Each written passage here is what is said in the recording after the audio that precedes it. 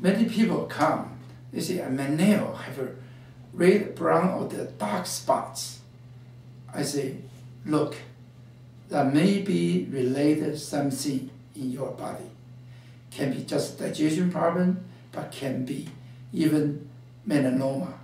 You know, spatial, those dots is a longitudinal, is a is a band, is a strap band, can be brown, dark brown, or even black.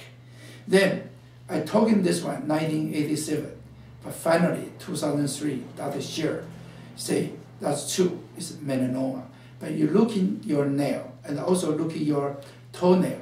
Of course, there can be the uh, nava, navy, navy, that is a mold they can do. But black people, dark skinned people, less chance. But if you're very fair skin, you're Caucasian, you have this kind of high chance melanoma. Melanoma is number five for U.S. men get the cancer. For women, seven number seven.